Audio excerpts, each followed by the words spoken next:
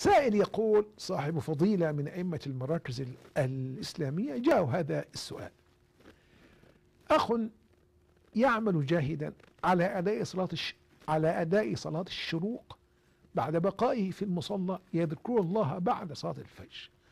في بعض الأيام يأتي إلى صلاة الفجر بعض كبار السن الذين ينتهزون هذه الفرصة في الكلام الذي لا طائل منه من الفجر إلى شروق الشمس. ثم إذا أشرقت الشمس صلوا صلاة الشروق وانصرفوا.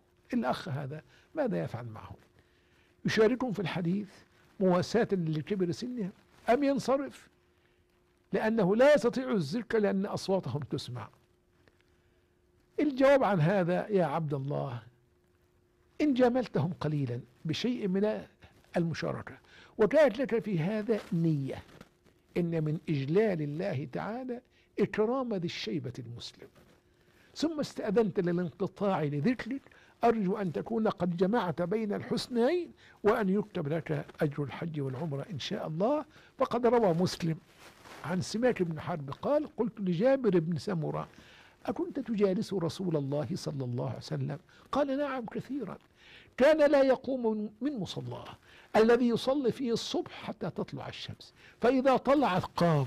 وكانوا يتحدثون وكانوا يتحدثون فيأخذون في أمر الجاهلية فيضحكون ويتبسم صلى الله عليه وسلم.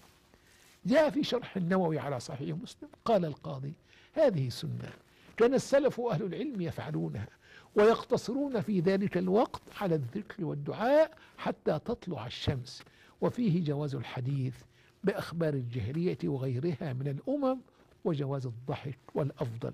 الإقتصار على التبسم كما فعله رسول الله صلى الله عليه وسلم في عامة أوقاته.